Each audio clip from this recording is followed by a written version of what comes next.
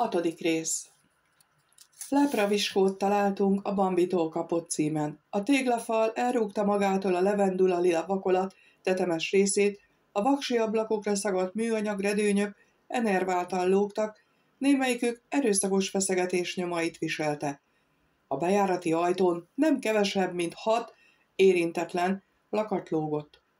A házhoz vezető patkányszürke betonjárda repedéseiben magról ideszökött porcsinka és körömvirág aludta éji álmát. E növények csupán nappal, akkor is csak zavartalan napsütésben tárják ki szírmaikat. Miss Major ki sem szállt a kocsiból. Bóklászásomat nem ellenezte.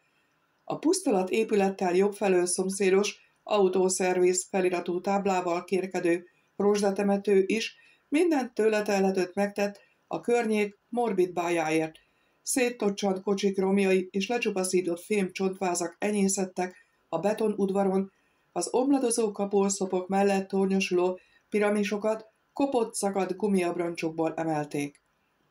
A bal oldalon magasodó házba még nem rágott bele a múló idő. A spagetti függönyös ablakok mögött barátságos lámpafény sárgállott. Az emeleti erkélyen magas, partviskarcsú asszony rendezgette a muskátlis cserepeket, az ömlő esővel nem törődött, viszont mászkálásomat nem tévesztette szem elől. Szemernyit sem csodáltam, hogy engem figyel, hiszen rajtam kívül csupán a háza előtt tovavonuló, feketére mocskosult vasbetonfalat szemlélhette volna, amely, ha nem is jótékonyan, eltakarta a mögötte terpeszkedő teherpályaudvart. Megálltam az erkély alatt, és megszólítottam a nőt. Szavaimat nem értettük, mivel egy zajos vonat robogott keresztül rajtuk. Megremegett alattam a föld. Az asszony jelbeszéddel értésemre adta, hogy tüstént lejön. Addig is kicsavartam magamból a vizet, feleslegesen, négy másodperc alatt visszalucskosodtam. Viszmajor kiszólt a finom, száraz kocsiból. Bambi váltig állítja, hogy passzol a cím a telefonszámhoz. A hirdetést is lenyomozta, éppen tíz napja adták fel, holott szerintem legalább húsz éve kísértet sem lakja ezt a rodgyant putrit. Nem fázol? kérdeztem epésen. Idebent 31 fokot mutat a hőmérő. Mondott még valami elcsigázót, de a következő vonat is befutott, és átdöbörgött közlendőjén.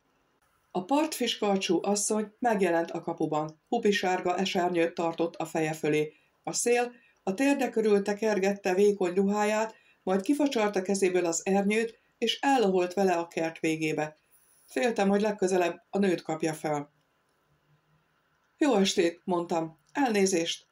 Micsoda hülye idő, szólott derűsen az asszony. Mákosra őszült haja ázottan lógott a nyakába.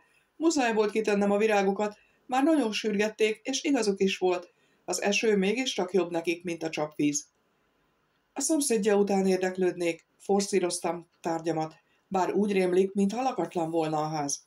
Az, lakatlan hát, vagy öt éve nem járt itt senki. Őszintén szólva nem bánnám, ha ide költözne valaki, mert magányosan élünk errefelé, és mostanában megváltozott a ház kisugárzása is, valahogy rossz fél évé vált. A tulajdonos jól tenné, ha legalább megpróbálná eladni az ingatlanát, hiszen óráról órára csökken az értéke, ugye itt a vasút, ott a ronstelep, az emberek meg egyre igényesebbek, csendre, zöldre vágynak.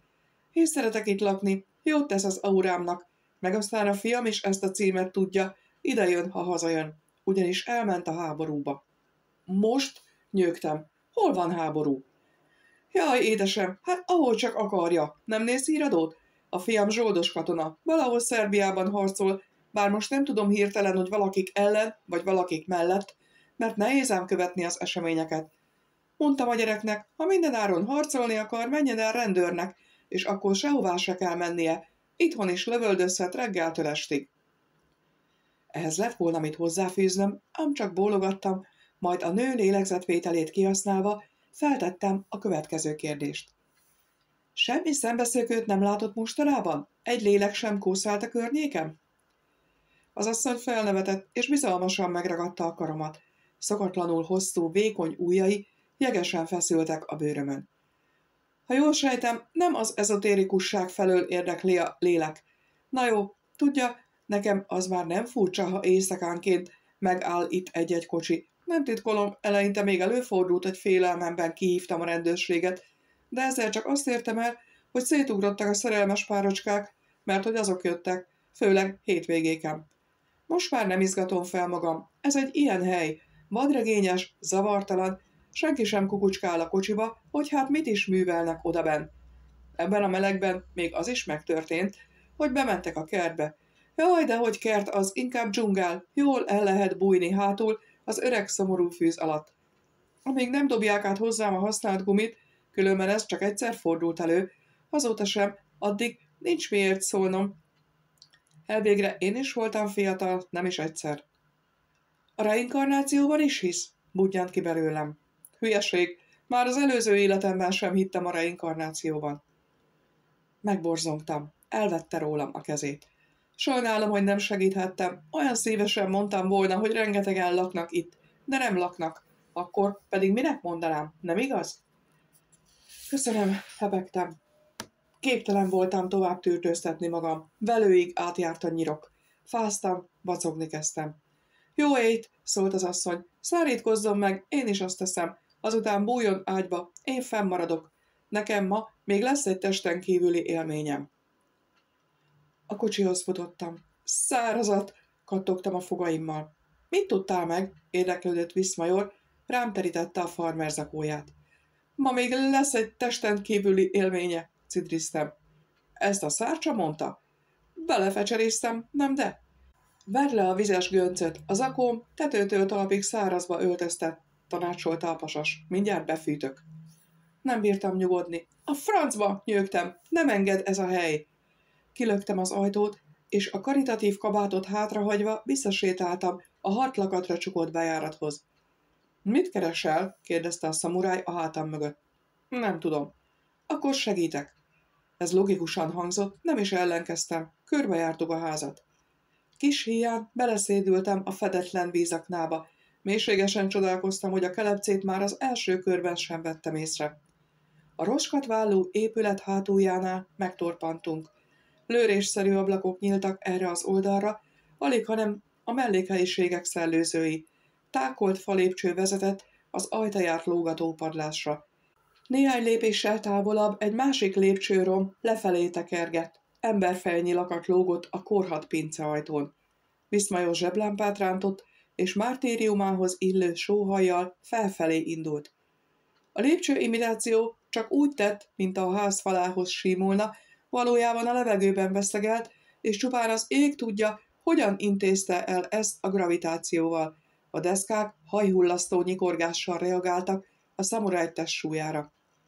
Várd meg, még felérek, vagy ne is jöjj utánam, mondta. Esetleg folytathatnád a fecseit a szárcsával. Egyik őtöktől sem idegen, tartsatok karmikus konziliumot. Fog már be, dohogtam. A praktikus tanácssal nem törődve, puhán az első lépcsőfokra léptem, azután a másodikra. A tákolmány hangulatosan imbolygott velünk. Rátszakadok és origamivá gyűrlek, figyelmeztetett szívszerelmem. Az utolsó fokon állt, bevilágított a padlásra, undor szót hallatott. Azután belépett. A grádics közepe táján járhattam, mintha kötélen húztam volna, úgy lengett alattam az egész tákolmány. Halálfélelmi verítéktől síkos testtel értem a magasba. Viszmajor a padlás közepe táján járhatott. Csak nem ötrét görnyedve cserkelt a ferde tetőgerendák alatt, így is bebeütötte a fejét, utoljára egy kék zománcát elejtett kondér vágta tarkon, amelyet a fülére erősített zsinórnál fogva akasztottak a tetőgerendába vert szögre. A szamuráj felmordult, felén fordult, és a szemembe irányozta a lámpa fénysugarát. Voltak éppen mi a fészkes fenét keresünk? Miért nem látjuk be végre, hogy tévedtünk és eltévedtünk? Valami furcsaságon álltam, vészjelzések szirénáztak a fejemben. Behúnytam a szememet, mire a pasas elfordította rólam a fénykört. Mi van? kérdezte, arcom láttán. Nem tudom, nézz a lábam alá. Még a te lábad alá is én figyeljek. Hullafeleslegesen vegzáljuk itt a pókokat, de nevéreket, és lehet, hogy közben a városban halomra írtják egymást a gengszterek. Mozdulatlanul, ökölbe szorult kézzel szobroztam. Elvakítottál a rohadt lábpáddal, nem látom, mint állok. Tányéraknál, más nem lehet, ércelődött a pasas. Más volt. A padlóra világított, és azt sóhajtotta. Nem mozdulj. Nem mozdulok, biztosítottam. Ájultan is feszes maradok.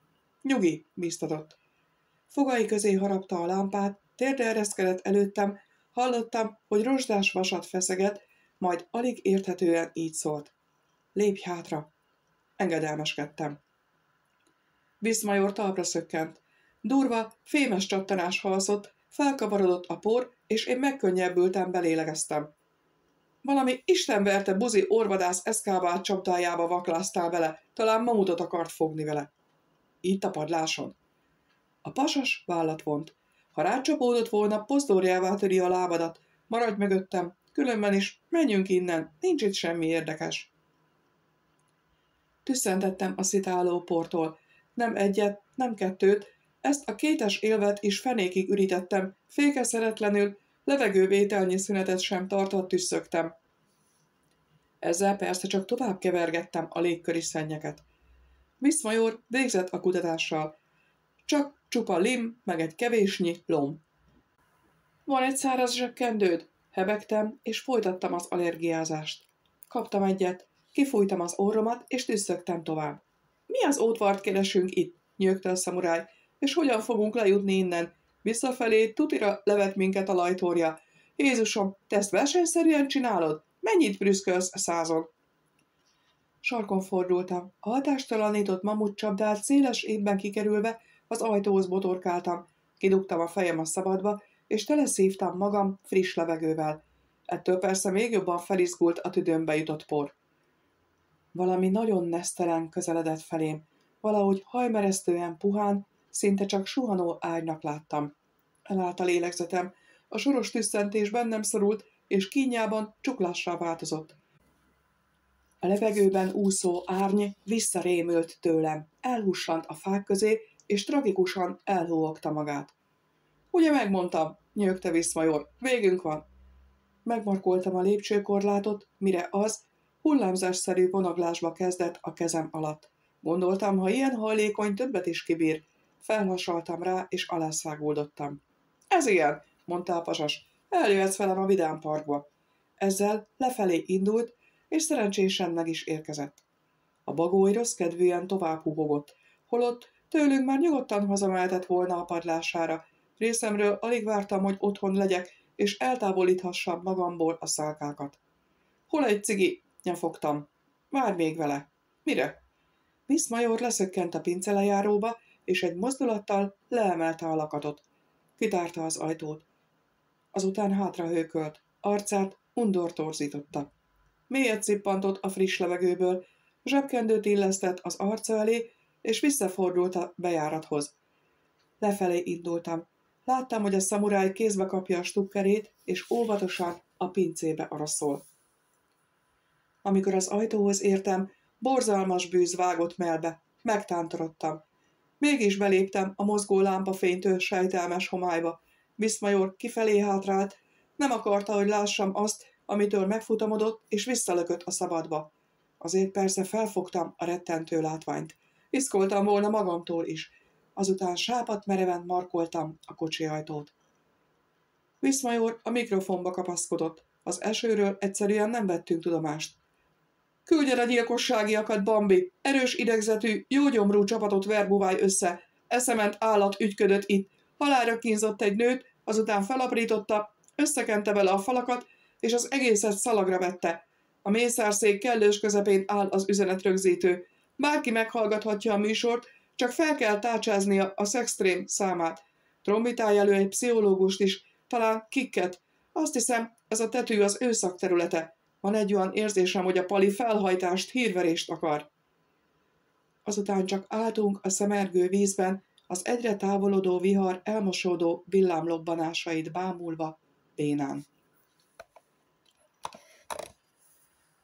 Egy órával később pedig fejvesztve robogtunk a Szorel utcai parkolóházhoz, mert az őrt telefonált a yardra, hogy egy nő szörnyen sikítozik odabent, ő a maga részéről szemmel tartja a kiáratot, de ben nem megy, mert otthon három gyermek várja. Amikor Bambi tudatta velünk az eseményt, Miss Major a gázra taposott, és mivel két saroknyira jártunk a Szorel utcától, legfeljebb másfél perc alatt meg is érkeztünk. Erősen reméltük, hogy elkaphatjuk a parkolóházi rémet, mert persze rágondoltunk a hír hallatán. Midőn a felhajtóra vágtattunk, meghallottuk a sikoltozást. Mire feltekerektünk a negyedik szintre, a nő elhallgatott. Ám ugyanabban a pillanatban meg is láttuk őt a kocsiában, élve, így tüstént megkönnyebbültünk. Ezúttal időben érkeztünk. Viszmajor gyanította, hogy a rettenetet kiváltó alak még a közelben lappang, ezért teljes harckészültségben közelítette meg a vércsepp színű korzát, majd tovább kutatott a kocsik között. Megálltam az Opel mellett. Az áttetszőre sápat nő rám sem nézett, immár felakadt szemmel, mereven ült a magára zárt autóban, katatóniás dermedtségben. 26-28 évesnek tippeltem. A jelek szerint állatatosan harcolt az életéért, kibomlott hajában félrecsúszott a díszcsat, festetlen arcát karmolás nyomok tarkították, fehér blúza tépettel lógott, szabadon hagyta felsebzett bőrű vállát.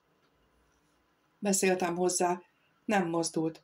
Feszes bőrű, fagyott vonású arca olyan volt, mint egy báli állarc. Pislogás nélkül, száraz szemmel bámult valamit, csak általa láthatót. Alig ha semmibe merett, valami volt előtte, annál is bénítóbb.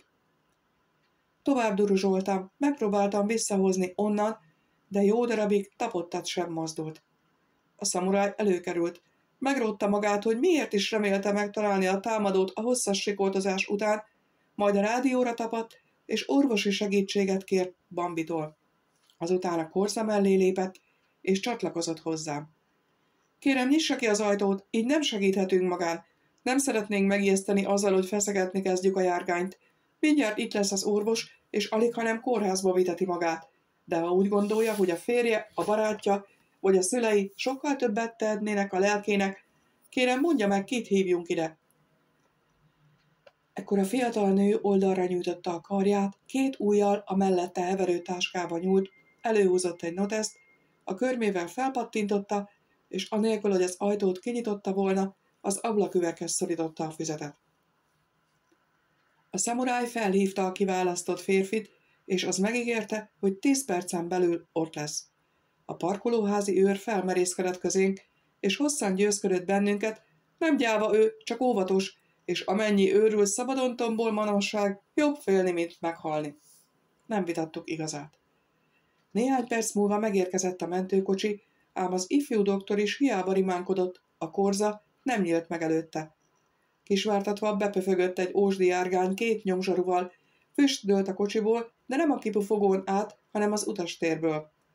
Negyvenes pasas kecmergett ki a jobboldali ülésből, fogai között pokoli szivarral, amely azután a potrohszerű hasra ejtegette egérszín hamuját. A roncs vezetője, szintén 40 év körüli, viszont fogas sovány fickó, a letekert ablak fölött szólt hozzánk, a penetráns szivar ikeröccsével a szájában. Mi van? Mit állnak itt? Várjuk a hölgy barátját, felelte Viszmajor, az Opel ajtókilincseit próbálgató zsarut figyelve. Minek?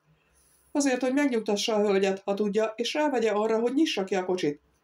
Nyissák ki maguk, rikkantotta a gizdapacák, és kihámozta magát a kormány mögül. Vagy nyissam ki én? Ne tegye, tanácsolta a szamuráj. A kövérkés kíver marokra kapta a pisztolyát, és fellendítette a karját, hogy bezúzza a korza hátsó ablakát.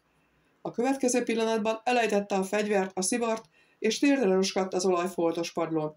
Ekkor Viszmajor elengedte a pasas csuklóját, felkapta a gazdátlan stukkert. Viselkedjünk, javallotta. Mi volt ez? Hőrent a másik zsaru, szivarral teli szájjal. Mancsot emeltél a kollégádra? Viszmajor megőrizte nyugalmát, és hű maradt tárgyához. Perceken belül itt lesz a hölgy barátja, és a kocsi ajtó feltárul. Ha maguk tovább cirkuszolnak, akármi is lehet. Márpedig úgy hiszem, azért jöttek, hogy a lehetőségekhez képest mielőbb megtudják, mi történt itt. A térdre omlott fickó nyögve felkecmergett a földről, leporolta a nadrágját. Születettel rossz kedvű, szürke ábrázata volt. Kivel vagy, hapsikám? kérdezte undorral. Mindig magammal, felelte a szamuráj. Szartársaságba jársz, csatlakozott a másik kíver. Kezdtem partalannak találni a társalgást. Viszmajor is ekként érezhetett, mert felhagyott a vérfagyasztó udvariassággal. Pofán csaplak, mint a gerebje, közölte. Úgy láttam, hamarosan közös nevezőre jutnak, a közös nyelvet már megtalálták. Káprázatosan eluntam magam, mint mindannyiszor, midőn az egymással vívó pasasok felborzolódtak és kibontogatták farktollaikat. Mákon volt, végre megérkezett a szabadító.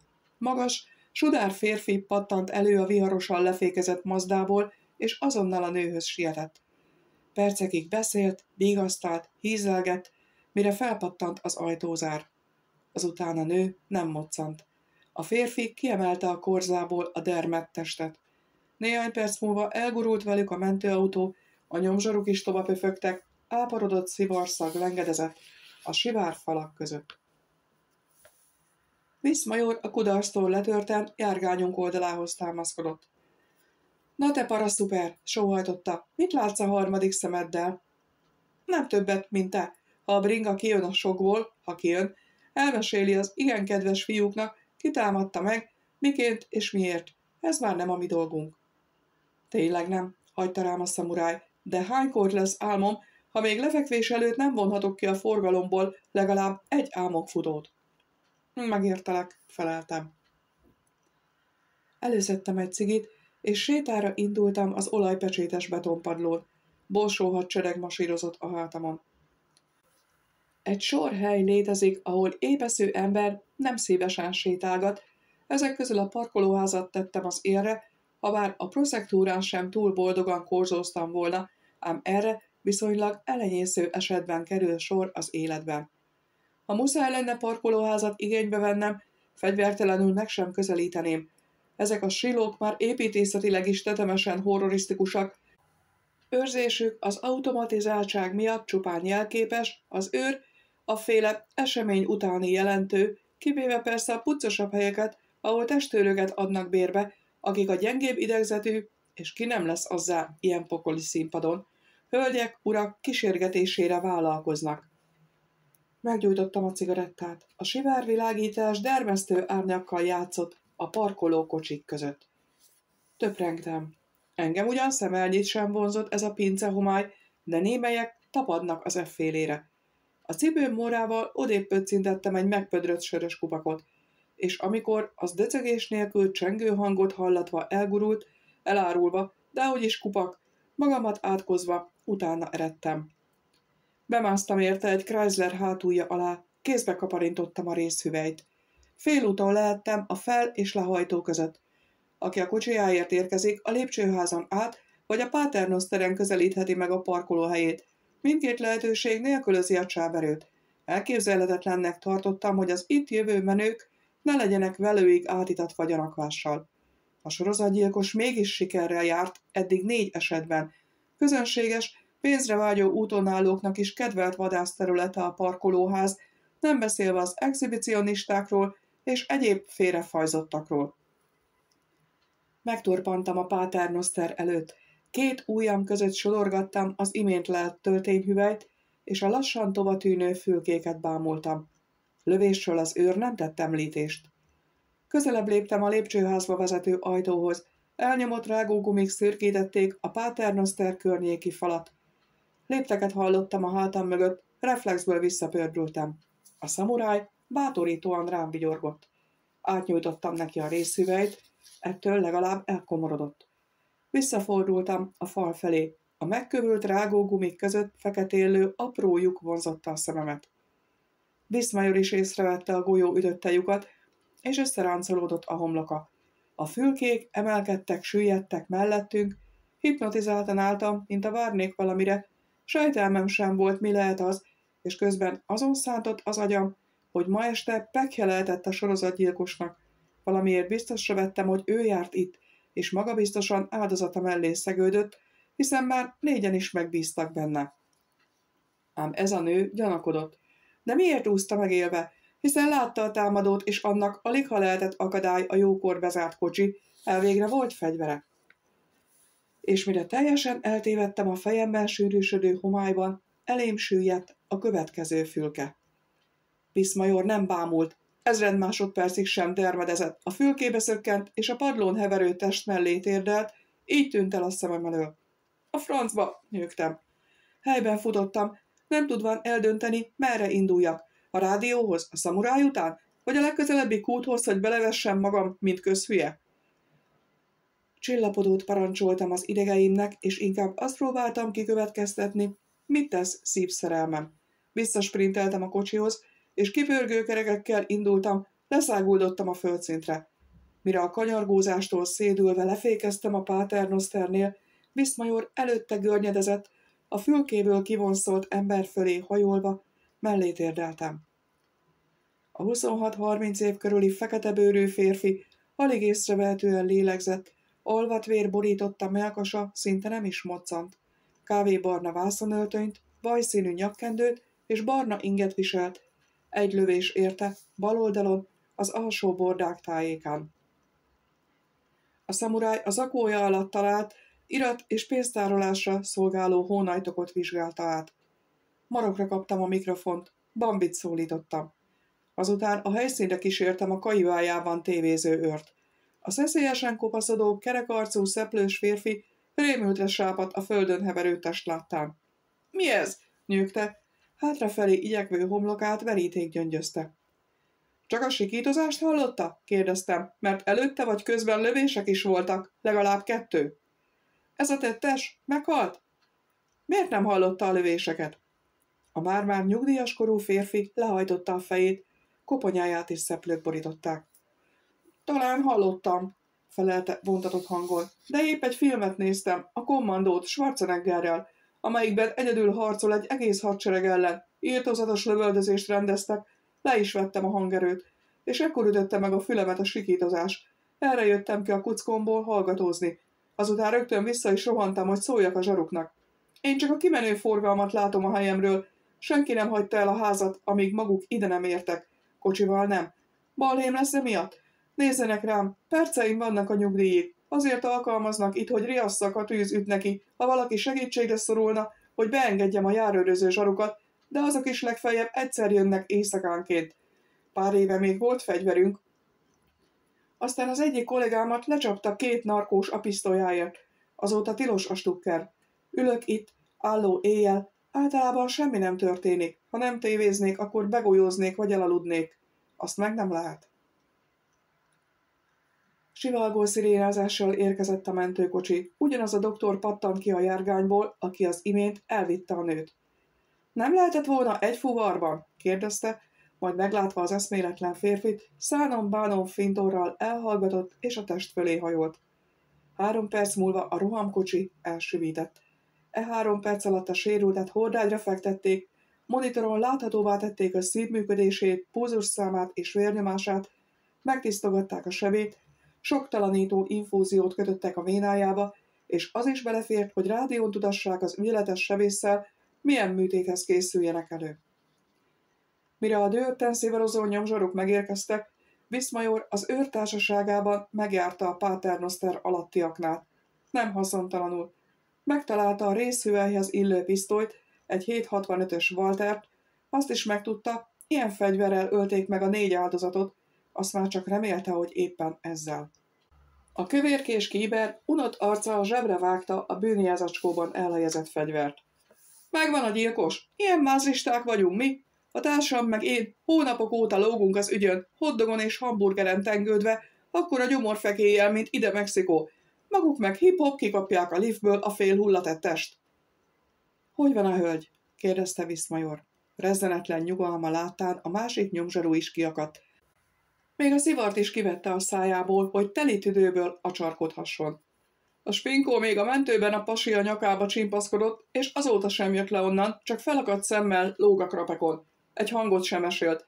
Pedig már az első percben pofán kellett volna csapni, az mindig jótékonyan hat a női idegre. Már rég kipakolt volna, ha nem csápolsz közbe, segfej. Kérdezték a baráttól, hogy a hölgy hordott-e fegyvert? Nem kellett kérdeznünk, mert a tag magától előadta, hogy hiába érvelt élethossziglan, nem bírta rávenni a csajt, az semmi áron nem akart stukker dugni a ridikülbe, pedig ügyvéd. Nagyon jól tudja, mi a dörgés. Nem a gyilkos találtuk meg, tért vissza az előző kérdéshez Viszmajor, hanem egy ügyvédet, az is lehet, hogy a hölgy kollégáját. Honnan a francból szoptad ezt? vicsorgott a kövérpasas. A sérült irataiból természetesen. Hónajtokot találtam a kabátja alatt, azt a fajtát, amiben fegyvert nem, csak pénzt és papírokat lehet tartani. Úgy gondolom, hogy a fickó a Paternosterből kilépve észrevette a műsort, és a nő segítségére sietett. Ekkora tettes, Stuckert rántott, megsebesítette és megfutamította a lovagot. Valószínűleg utána lépett a Paternosterbe, hogy végezzen vele, ám a fülke halad, ekkor veszíthette el a fegyvert, ettől a fejét is elvesztette és elinalt. A nő vezárkozott a kocsiába, ahonnan nem láthatta, mi történik, viszont hallotta a lövéseket, és végképp kiakadt. Na-na, mondta a sovány zsaru, azért nem áll meg a lábán a teória, mert a mi emberünk eddig még mindig bejutott a kiszemelt kocsiba, nem útközben kapta el a spinéket. Eszembe villant valami. Ha jól emlékszem, azon a szinten majdnem a Paternosterrel szemben áll egy ugyanolyan korza, egy félholtra rémült nő, vagy egy nő, aki egyszerűen csak fél, hajlamos lehet arra, hogy a saját kocsiját se ismerje meg. A pasas akkor már kerülgette, midőn kiderült, hogy a kulcs nem nyitja az ajtót, mindketten pánikba esettek, kiki a maga okán. Igen, valahol a rossz korza közelében kezdődhetett a húzavona, mert a Paternosterből kilépő pasas is csak így vette észre őket. A nő kocsija túl messze állt ahhoz, képest, ami lezajlott. Szemen szeret baromság, legyintett a gizdapasas. Oké, okay, nem az a lényeg, hogy nekem legyen igazam, hagytam rá. Én is emlékszem a másik járgányra, bólintott Viszmajor. Olyan nincs, hogy én akár száz sült egyformat ragacs közül elsőre kine szúrjam a sajátomat, morogta a kövér zsaru. Mert maga férfi, feleltem. Na és? Egy átlagos nő bármit összekeverhet bármivel, az nem tartozik érdeklődése homlokterébe, és a kocsi általában nem tartozik oda, az csak egy használati tárgy. Nem is, nem státuszszimbólum, mint a pasasok szemében. Eszköz, amely eljuttat valahonnan valahová, amely cipekedik helyettünk, vagy amiben menedéket kereshetünk, ha összebotlunk egy barommal. Rendben, legyintett a moletkéber. Az bebizonyította, hogy hülyék a spinék, de semmi többet. Uraim, az a helyzet, hogy nekem az égvilágon semmit senkinek nem kell bebizonyítanom. Ami az én dolgom volt, azt elvégeztem.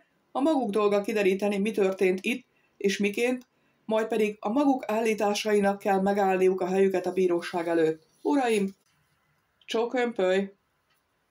Puszi szívi, vigyorgott a sovány alak, szájában a nála vastagabb szivarral. Azért én felhívnám magát, ha megnyílik a csaj, és kiderül az igazság. Hát, ha tanul belőle. Viszmajor megfogta a karomat, és a kocsi felé húzott. Egy apró hirdetésre előbb válaszolj, mondta. Kigurultunk az éjszakába. Megkönnyebbülten fellélegeztem az állott kipufogó és szivarfüstmentes levegőn, de íziben megbántam. A napközben felízott aszfalt és beton rengeteg az eső múltával olyképpen viselkedett, mint a lelocsolt szaunakő. Miután enyhében megégettem a légcsövemet, kis ideig csendben maradtam, piektem. Ihatnánk valami hideget, sóhajtott a szamuráj. Nem tudom. Talán elszoktam ettől az életstíltől, talán öregszem. Sok volt nekem a mai nap. Már vagy egy perce a holnapról ábrándozok, amikor olyan lehetek, mint a normális emberek. Például házat vehetsz. Olyan házról hallani sem akarok, amit te találsz nekem. Egy ajtót sem mernék kinyitni azon a rémtanyán. Nem én találtam neked a házat. Egészen pontosan az történt, hogy a ház szólt nekem, gazdát keres, konkrétan téged. Olykor élvezem, amikor átmész paralitikusba, olykor nem, dűnyögte a szamuráj. Lefékezett egy sátortetős kerthelyiség előtt. Bementünk az étek és italbárba. Így el búzasört, ajánlottam, káprázatosan egészséges. Köszönöm, már többen ajánlották kóstolásra, de nem bírom belévetni a bizalmamat. A búzasör hajszára úgy fest akár a romlott sör, mint egy rengeteg keresztes vizelet minta.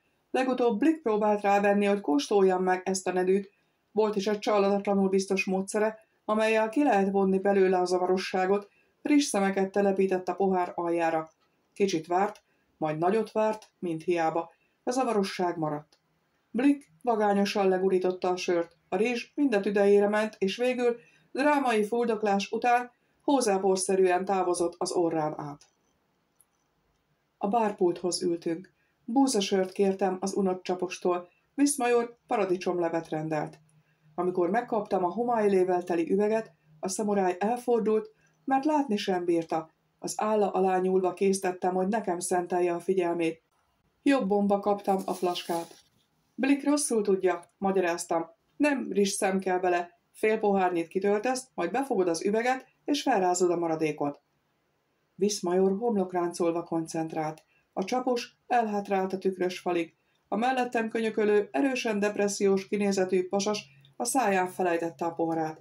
A szamuráj takarásában ülő fiatal fickók ránk sem hederítettek. Megsékeltem a sört, elkaptam ujjamat a flaska szájától. Mindenki behabzott. A poharamba egyetlen csepp ital sem jutott. A búzasör ivás módszere is olyan, mint a rák gyógyszere, összegezte a szamuráj. Folyton felfedezik, mégsem használ. A pultos megtörölközött, majd felbontott egy újabb sört, és kitöltötte a poharamba. Azután a hűtőbe nyúlt, elővett egy pohár joghurtot, és két kis kanál kíséretében a két fiatal pacák elé helyezte.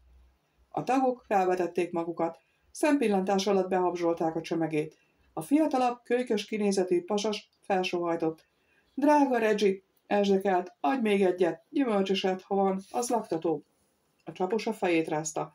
Nem kaptok, ha nincs pénzetek. Majd megadjuk. Két évvel ezelőtt is nálam jogkurtoztatok, emlékeztek? Morogta Reggie. Előreugró homlok ereszet csak nem teljesen árnyékba borítottam meghatározhatatlan színű szemét. Arca enyhe rosszallást tükrözött. Órákig is elkönyököltetek itt egy pohár jogkurt és egy kis üveg ásványvíz fölött.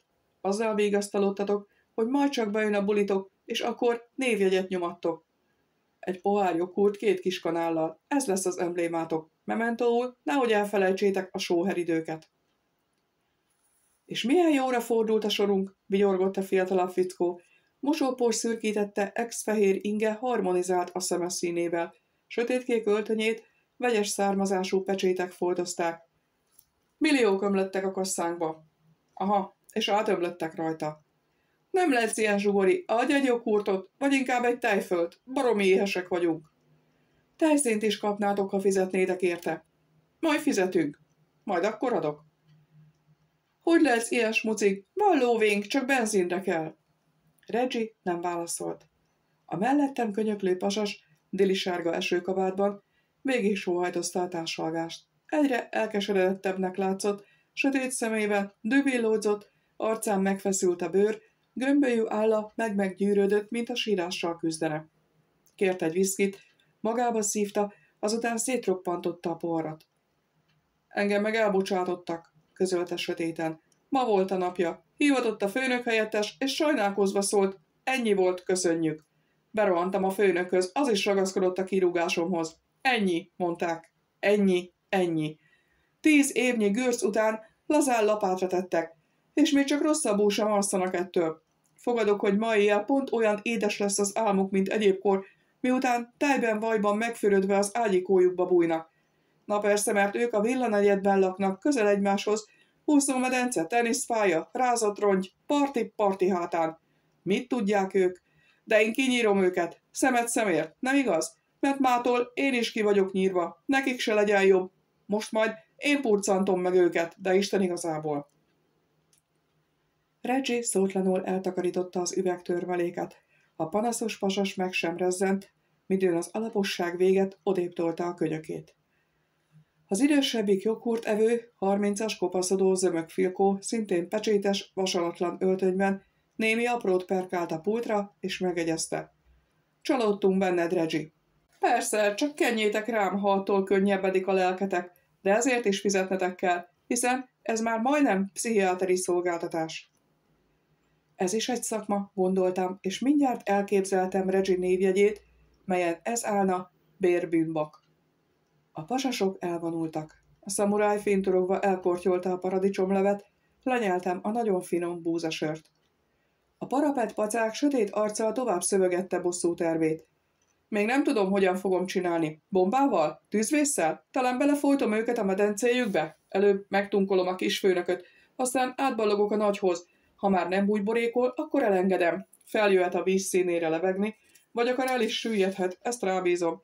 Esetleg ledurrantom őket de ehhez hangtompító is kéne, mert amíg az egyiket szétlocsintom, a másik felretten a dörrenésre és megpucol. Miért nem laknak ezek együtt? Akkor csak egymás mögé állítanám őket, kapnám a magnumot, és két légy döglene egy lövésre. Reggie unottan megszólalt. Adj egy húszast, aztán rám kenheted a bajodat. Amint lepengetted a lét, Attól kezdve bármikor, bárhányszor rájöhetsz, hogy minden pekhedért engem okolhatsz. És még sitre sem visznek. Nagyon jól meg tudom különböztetni, kike félte el az életemet. Te csak adj nekem még egy dózist az olcsóbbik viszkitből. Én meg majd kinyírom azt a két hájas valagú karrieristát. Tíz évig gürcöltem nekik, helyettük, az én véremen híztak el. Leolvashattam Viszmajor arcáról, hogy nem tetszenek neki a hallottak. Engem sem lelkesített a parapet pasas gyűlölködése, ám leginkább azt fájlaltam, hogy már megint olyasmit tukmálnak rám, amiből nem kértem volna. A szamuráj Reggiehez fordult. Van valami hirtelen kajája? Adhatok szendvicset, a felvágottas tükörtojásost ajánlom, ha kívánja, megmelegítem. De autoklávban, morogtam magam elé. A hölgy is parancsol egy szendvicset? kérdezte a pultos. Aligha, felelte helyettem Viszmajor. A hölgy White gyomrú. A sötétkedélyű pasas váratlanul felnyögött. Ez aljasság, Regi. Hogy is kérhetnél tőlem pénzt, pusztán azért, mert meghallgatsz? Tényleg lélekdokinak képzeled magad? Ha vársz egy kicsit, kikeresem a munkaköri leírásomat, felelte a kérdőre vont. Átnyálaszthatod oda-vissza, nem fogsz olyan passzus lelni benne, mely szerint kötelességem volna bárki hülyeségeit végighallgatni. Különben nem erről szólt az ajánlatom, hanem arról, hogy csak is te járhatsz jól, ha nem hergeled magad a kirúgásoddal, vagy ha mégis, akkor kulturált mederben tartod a mérgedet, azaz eldúdolod nekem, és nem mész el gyilkolászni. A gyilkolászás árt az egészségnek. Ez benne a ráció. Úgy értem, a gyilkosnak sem használ. Dehogy nem, ez a két manus elkefélte az életemet, és ráadásul teljesen váratlanul. Végem van, Reggie, érted? Fenét van véged. De igen, nekem befellegzett. Még nem fizettem ki a házam és a kocsim részleteit, nincs még kielégítve az ex-feleségem, ezek a mocskok koldusbotra juttattak.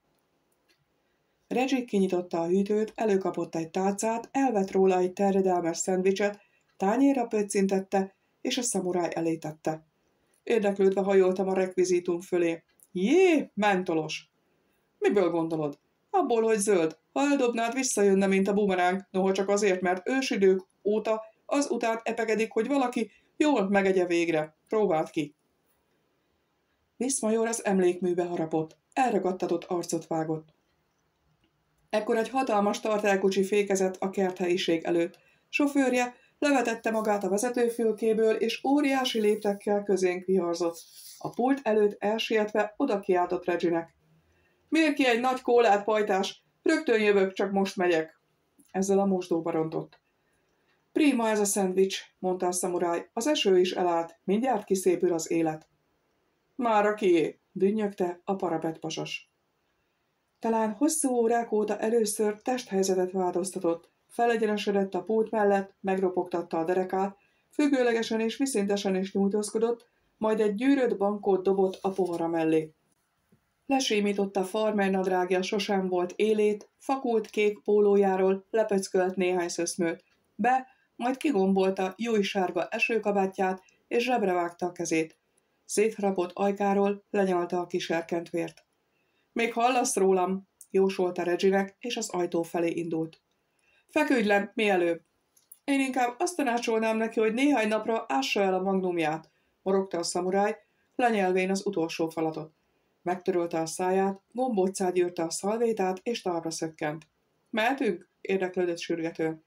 Válasz sem várva fizetett Reginek, és becsomagoltatott még két mentolosat.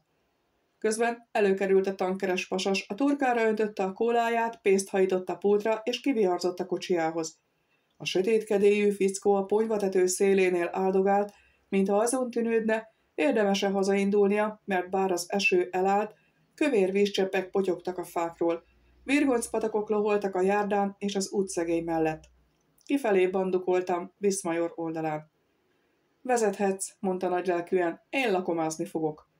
Lakomász csak, bólintottam vészjós orcával. Aztán a vágyva várt szabad napodon azon kapod magad, hogy képtelen vagy lemászni a vadul hintáló ágyról. Semmi baj a kajámnak, szállj már le róla. Bocs, feleltem.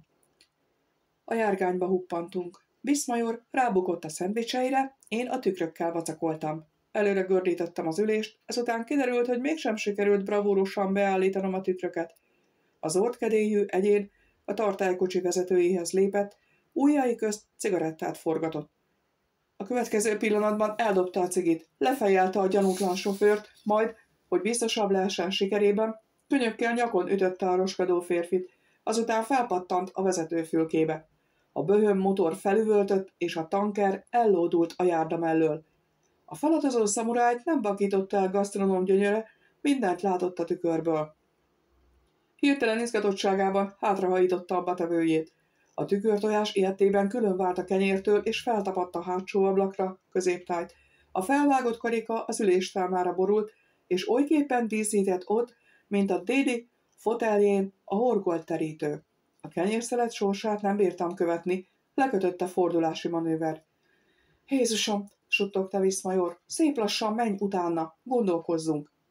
A gondolkozás főként rajta segítene, vélekedtem. Csípném, ha most nem a szőrszálat hasogatnád, hanem a tartálykocsira tapadnál. Befejeztem a manővert. Az imént még melegen volt, ám nem először ezen az éjszakán, ismét fázni kezdtem. Azt mondtad, szép lassan menjek utána, morogtam. Súlyosan megőrítesz. A tanker vezető száguldott előttünk, hatalmas abroncsai a szélvédőnkre zúdították az utat borító sáros olajos szennylevet. Nem jellemző, hogy túl sokat látnék, jelentettem komoran. Mielőtt még a szamuráj lehülyészedett volna, kézbe kaptam és bekapcsoltam az ablaktörlőt. Árnyalatnyit javultak a látási viszonyok. Ez a fickó már nem gondolja meg magát, látta be Viszmajor, viszi az adrenalinja. Hát, ha csak kocsikázni akar. Nem remélem, meg kell állítanunk, mielőtt a földdel teszi egyenlővé a villanegyedet. Mégis miként óhajtasz megállítani egy tetemes benzin szállítmányjal vágtázó álmokfutót? Érdeklődtem. Hajtsak mellé, lelövöd? Eszement ötlet. Úgy kell megfékeznünk, hogy a benzinnek hajaszála se görbüljön. Ez az egész nem történik meg, ha nem állsz neki szendvicsezni, dünnyögtem. Gyors pillantást vetettem a tükörbe. A tükörtojás dermedten kuporgott az üvegen. Megtörtént volna, viszont mi elmulasztjuk az esélyt, hogy tehessünk ellene valamit. Hát ezt szívesen elmulasztottam volna, közöltem, rossz kedvűen. Rettenetes, amikor árad belőled a negatívum. Hogy ne áradna, amikor egy zord elmebeteg tép előttünk pár hektó tűzveszéllyel? Nem elmebeteg, legfeljebb átmeneti elmezavara lehet. Hallottad a bánatát, kisemmiszték, előbb a hites nője, majd a kenyéradói, lélektanilag megértem a pacákot. Ha már pszichológusi babérokra törsz, légy egyéniség, és keress egy kuriózumnak számító szakterületet, javasoltam. Kilencvennel döngettünk a városban. Attól, hogy a hideg lelt, még zavartalanul tudtam forrót verítékezni. Vizuális típus lévén már is magam előtt láttam a célba érkező tankert, muszáj volt szövegelnem, nehogy az eszvéletem elrúgjon magától. Szamuráj, kitaláltam neked egy teljesen újszerű, de alig hanem a vihalsebesen elnépszerűsödő specialitást. Abszolút ez szűz szakma. Legyél kompjúterpszichológus. Elvégre a gép is csak ember, lelke van neki. Menj közelebb, dirigálta. A tankerhez? Ha lehet, mondta, szinte fogcsikorgatva. Feszültség vibrált a hangjában. Letekerte az ablakot. Örültségre készült. A tükörtojás elunta magát hátul, lassúdad araszolással lefelé indult az üvegen, sárga nyálkát húzott maga után.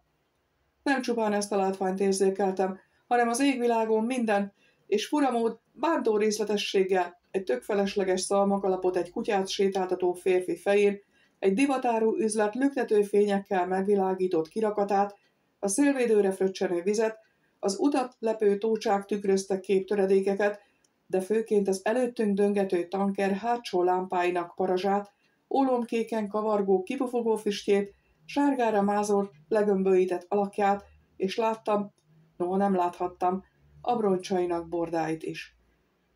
Meg a menni készülő szamurájt. Arra figyelj, hogy a tükrébe világíts, mondta a pasas, eltökélvén arra, hogy most aztán méltóképpen megrendezi a saját halálát. Ha elszúrod, a fiszkó kibök engem, amint feljutottam a fülke tetejére, próbáld meg lelassítani a tagot. Még jobb, ha megállítod, de nem minden áron, és véletlennek tüntest fel. Úgy időzítsük, hogy erre a stadion mellett kerüljön sor, mert az gyéren lakott terület, ha mégiscsak robbannánk. Nem sokára odaérünk. Mindent felfogtál? Szia, legyintettem.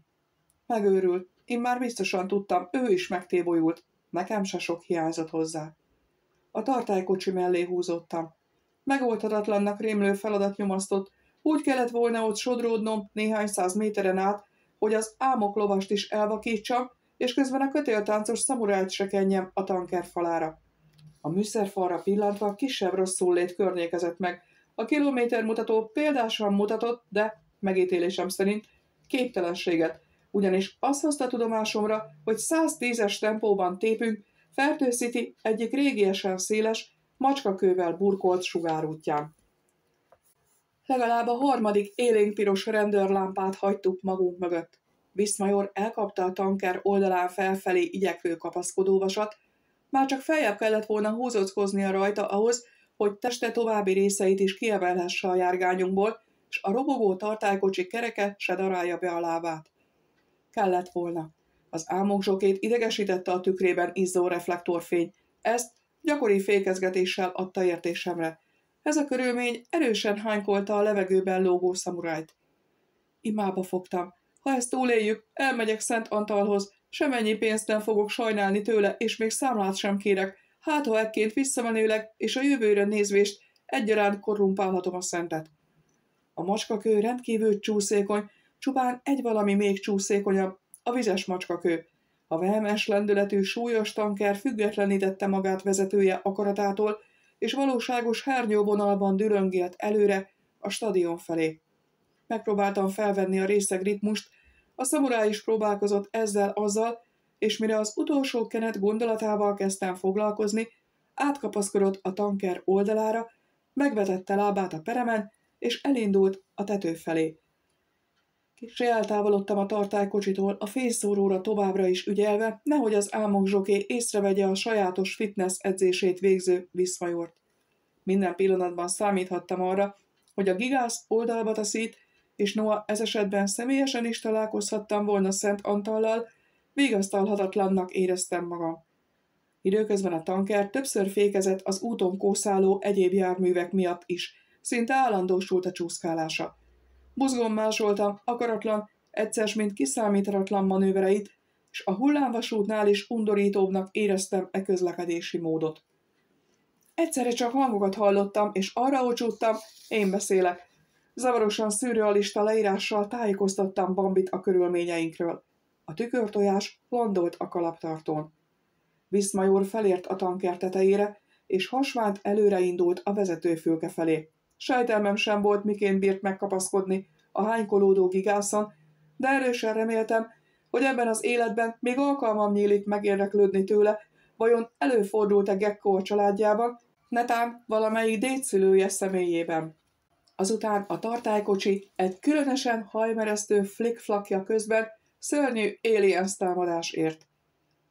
Nyálkásan hűvös valami ugrott a nyakamba, és megtapadt rajta, Ilyettemben majdnem teljesen vegetatívvá tett.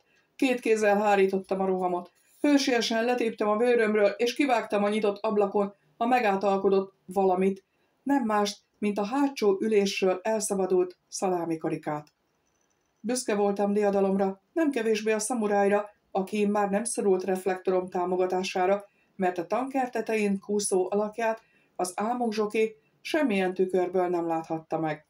Gáztattam, és az érre törtem. Mielőtt még egyszer, és alig hanem utoljára kockára tettem volna az életemet, hátra pillantottam, ellenőrizendő, hol tart a kúszásban szívszerelmem, ám a látási viszonyokat meglehetősen rontotta a hátsó ablakot sárgító tojásnyálka. Vakrepülésszerűen a tanker elé vágtam, és látványos botorkálást mímeltem előtte. Az álmok zsoké kürtje üvöltött. A súlyos gigász rángatózva lassult. Rettegtem, hogy emiatt a szamuráj spontán lólengés gyakorlatok előadására kényszerül. A finomabb részletekből szinte semmit sem láttam, a nüanszokról egyébként is elirányult volna a figyelmem, hiszen a rendkívül élesen és közelről érzékelhető behemót jármű eltaposni készült, védtelenül törékeny járgányomat. Végem van, nyögtem, ám reflexből a gázra léptem, és sikerült elszökkennem a monstrum elől. Mi több, számottevő előnyre tettem szert. Lassítottam. A kürt ismét felüvöltött és bőgött akár egy sebzett sárkány, majd a hirtelen vad fékezéstől a gigász megbillent, és felborulni készült. valaki felsikoltott a kocsimban, ha nem a tükörtojás, akkor csak én lehettem. A tanker visszanyerte az egyensúlyát, és megállt végre. Dőt autósok torpantak meg körülötte, fékeztem, aztán előmerészkedtem a járgányból. Az álmok zsoké kirúgta az ajtót. Magnumja előbb tűnt fel, mint ő maga. Íziben gyanítani kezdtem, hogy a pasas talomba tette összes kiirtandó főnökét, és addig egy tapottat sem tesz meg boldogításuk érdekében, míg pozdorjává nem lőtt engem. Az álmok zsoké mered szemmel, tüdejét szaggatva ordított velem, ám egyetlen szavát sem értettem a felháborodott kürt koncertben. A következő pillanatban feltűnt a fegyvert tartó kar, majd a pasas válla is. Ekkor, az égnek hála, a szamuráj meg vagy visszaérkezett a fülke tetejére. Talán nem akarta, hogy kárba veszel rengeteg fáradtsága, amelyel odáig küzdötte magát, netán értem aggódott, esetleg a lángtengerbe borítható félvárosért, ki tudja. Elvetődött a magasból, és elkapta az álmok zsokék karját. A magnumért földet elsőként, azután az elmeháborodott következett, végül Viszmajor. Nem álltam tétlenül, kilőttem magam. Mire a pasasok feltápászkodtak, azt méricskélvén, milyen atrocitással roncsák tovább egymás kedvét, rárepültem a fegyverre. Biztonságba helyeztem a magnumot, és marokra kaptam a mikrofont. Bambi kérte, hogy lassabban és előről, én azonban a velem szemközt eldörrenő pofonokra koncentráltam, amelyekből számosat a szamuráj kapott, a tébolyától megfickósodott pasastól, még nem aztán társam megelégelte a Herce utcát, és kifektette ellenfelét a domború hátú macskakövön. Kisvártatva, égig érő sivalgás kíséretében a Reggie által riasztott járőrkocsik is megérkeztek. Az egyenruhások feloszlatták a tömeget, elterelték a forgalmat, és elpucolták az enyhén ájult pasast a kövezetről. Hol a kajám? hőrent a szamuráj valamivel később. Nem hittem a fülemnek. Öt perc sem telt el azóta, hogy lastromba vette kék, zöld, valamint sárga színezetű zúzódásait. Megsatszolta, hány nézetméter felhámja veszett oda a tankeren hányódva. Szerintem még nyugodtan búsulhatott volna egy darabig, eljött ő már is táplálkozni akart. Hát, sóhajtottam, a kajádról lemondhatsz. A tükörtojás ugyan megvan valahol, de elpiszkolódott. A szalámit viszont kivágtam, amikor megtámadott. A olyas kenyeret nem láttam, amióta hátradobtad. Talán a szalvétával kezdhetsz még valamit. Lehetséges, hogy maradt rajta némi lenyalható. Viszmajor hosszan, borúsan méregette az arcomat. Egyszerűen imádtam a pasast. Csak nemrég rodeózott egy felbőszült tanker hátán, testszerte ütött kopott lett, de a haja, hát a haja szemelnyit sem borzolódott össze. Ez nem attól lehetett, hogy ő egy szuper illető, nem. Ez itt a reklámhelye, tökéletes zselét használt. Nem túl hosszú, ám annál kalandosabb kapcsolatunk során kétféle frizurát figyeltem meg nála. Hátralőtt fekete haját hol fényesítve, hol pedig zselézve viselte. Ez utóbbival úgy válhatott, mint a most jött volna az uszodából. Mi az, hogy megtámadott? kérdezte szörnyölködve. Nos, ez konkrétan azt jelenti, hogy nekifutásból rám vetette magát, elkapta a nyakamat, és megpróbálta átrágni, vagy kiszívni, nem tudom. Különben hagyjuk a fenébe. Fertőszitiben öt lépésenként követik egymást a kajáldák. Rögvest ehetsz, mellesleg minden tiszteletem a gyomrodé.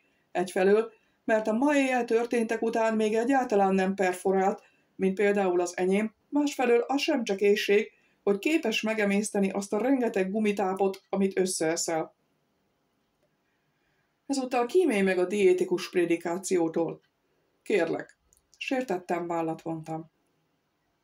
Lefékeztem az első utunkba kerülő étkeztető előtt, azután rosszul lét környezet, míg a szamuráj jó ízűen elfogyasztotta fűrészforos fasírtját és elnyelte kóláját. Még néhány perc is megállítratlanul hízásnak indulsz, jövendöltem. Ismerek egy pacákot, az illető máig perben áll a telefontársasággal, holott egyedül ő tehet arról, ami vele történt. Szerintem a telefonisták védőjének teljességgel igaza van abban, hogy nekik a fülkék kialakításakor kutyakötelességük a mozgássérültekre és a kistermetű egyénekre gondolni, de messze nem kell tekintettel lenniük még a bélpoklosokra is. Szóval ez a perlekedő illető folyton csak evet ivott, méghozzá az általad is kultivált borzalmakat.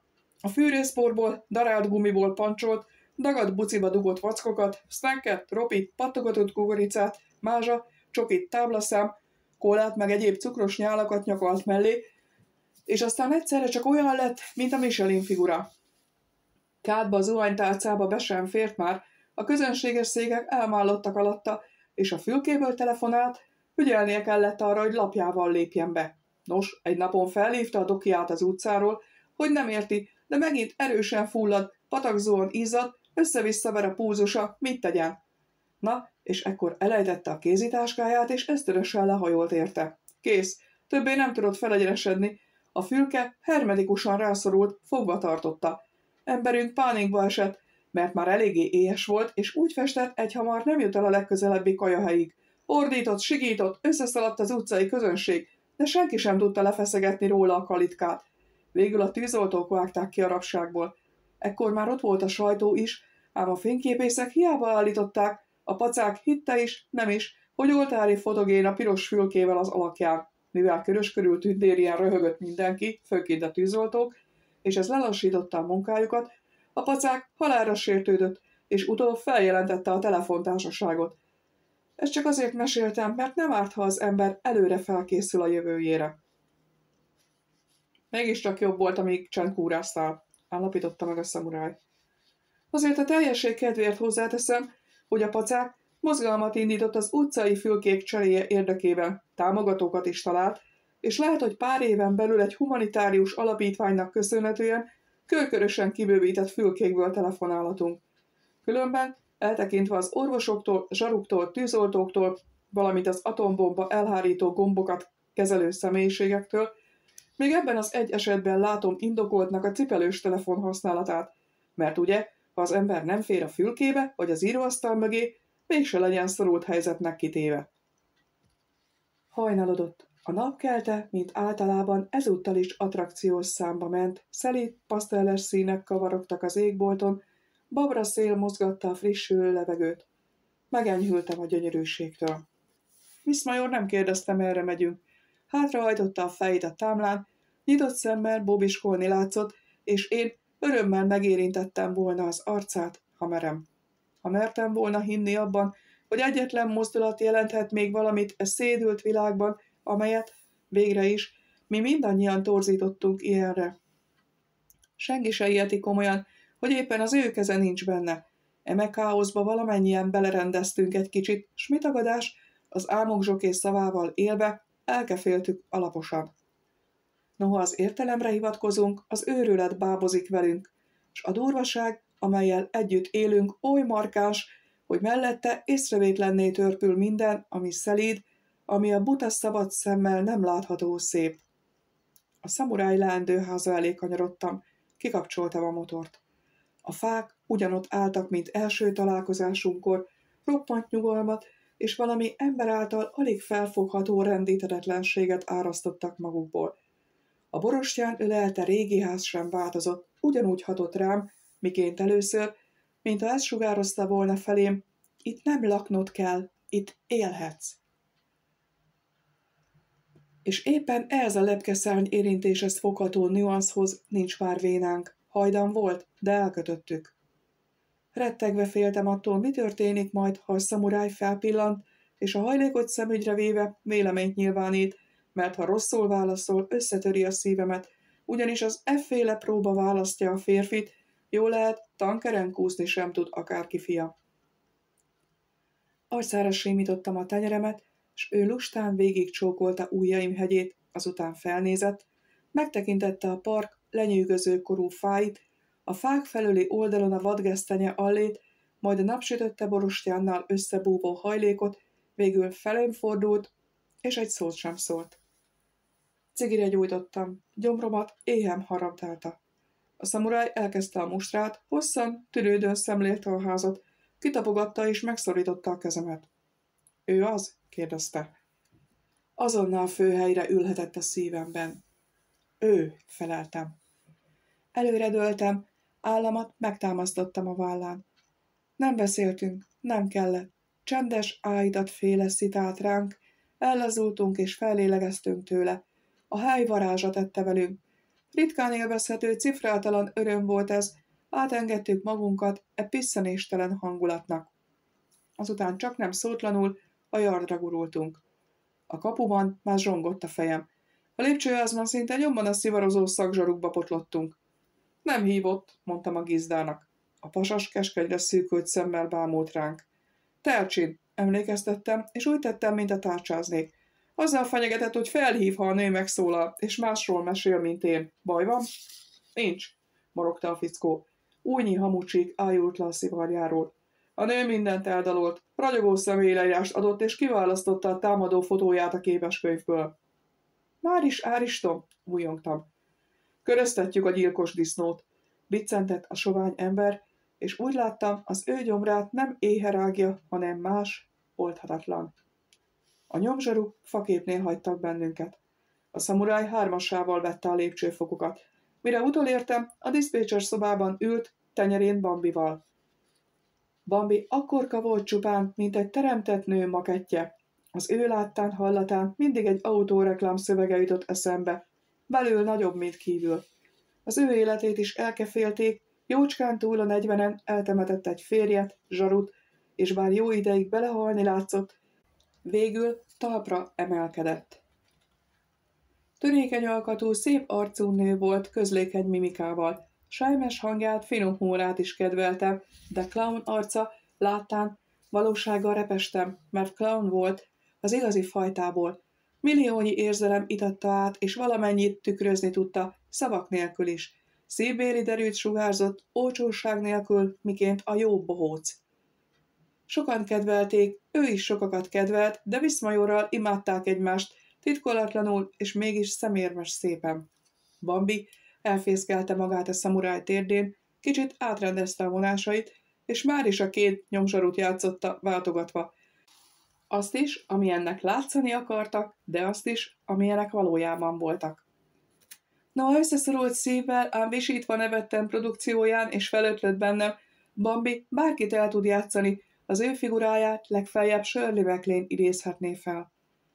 Azután lekéreckedett Viszmajor térdéről, kávét celebrált elénk, tűvékony cigarettára gyújtott, a székére huppant, és mert nem ért le a lába, törökölésbe helyezkedett, és elmesélte, amit a parkolóházi ügyről tudott. Rachel Smith, a megtámadott nő azért nem tartott magánál fegyvert, mert már-már beteges félelmek kínozták, rettegett az erőszaktól. A fejbe vette, és talán igaza is volt, hogyha pisztolyt hordana és megtámadnák, elsőül azt vennék el tőle, saját fegyverével lőnék agyon. Tegnap este, amikor ügyével végezvén kilépett az irodaházból, feltűnt neki egy fekete férfi, aki már a liftben beleutazott, majd az utcán is követte őt. Rochelle futásnak eredt, lélekszakadva ért a parkolóházhoz, és már a Paternosterbe lépett, amikor eszébe jutott, hogy a fekete pasas a kollégája, hiszen a tárgyalás előtt bemutatták őket egymásnak. Feledékenysége miatt bosszúsan lépett ki a fülkéből, de a rossz érzés, a félelem beletartott. A kocsiához sietett, kapkodva a zárba illesztette a kulcsot, ám az nem moccant, az ajtó nem nyílott.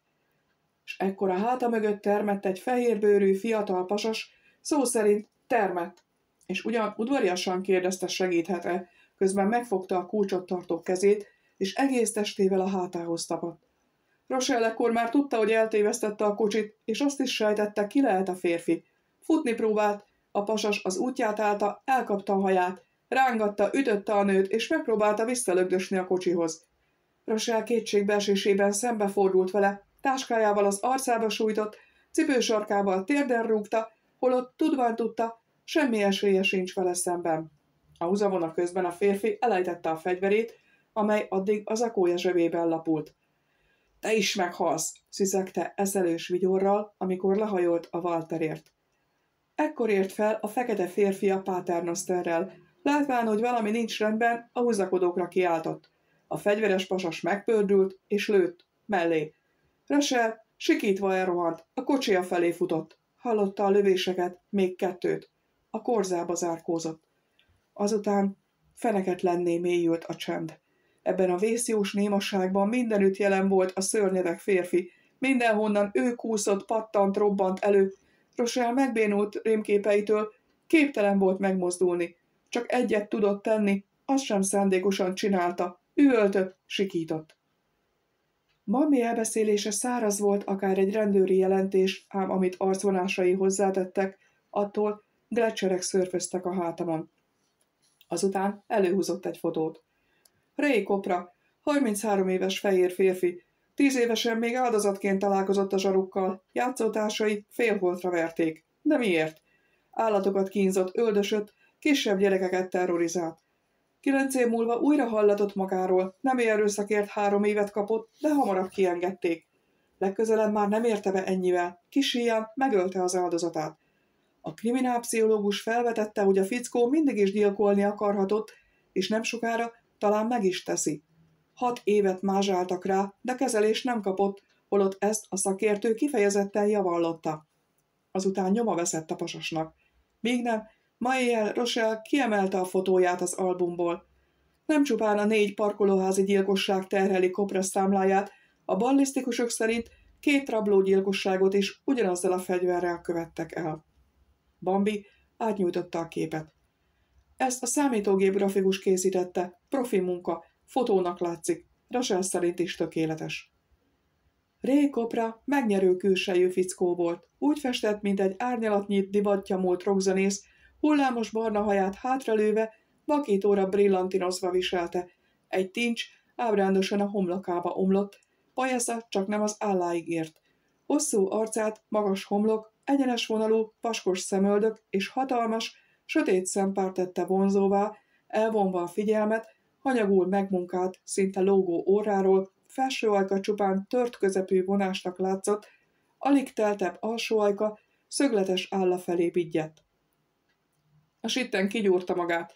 Társai nem kötözködtek vele, tartottak tőle. Állították, hogy nem normális, illetve így fogalmaztak, időnként nem normális.